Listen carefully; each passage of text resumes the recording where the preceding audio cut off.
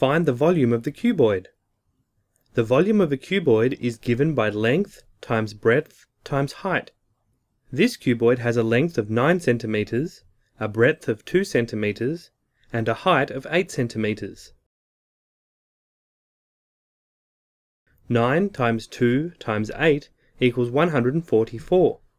So the volume of the cuboid is 144 cubic centimeters. Find the volume of the cuboid. Take note of the units. In this case, we are working with meters.